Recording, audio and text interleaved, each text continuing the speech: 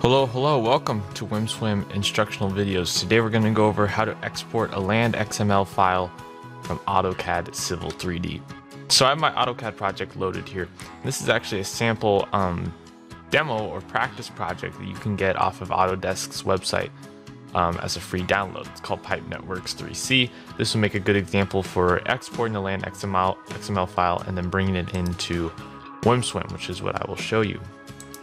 So We've got our project loaded up here. It has all the typical um, Civil 3D project elements. You got a profile graph over here and uh, some land data over here with pipes. So what we're going to do is first export this land XML file. So go to the output tab, go to export to land XML,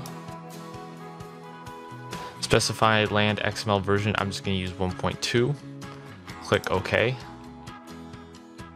And this takes me to the land XML test. This is a folder that I created. I'm just gonna go dash two here.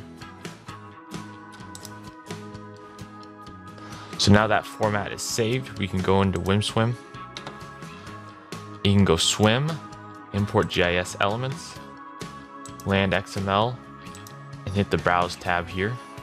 I'm gonna go to land XML test, which is the same folder I used, and select Pipe Networks 3C-2, which is what I just created select import.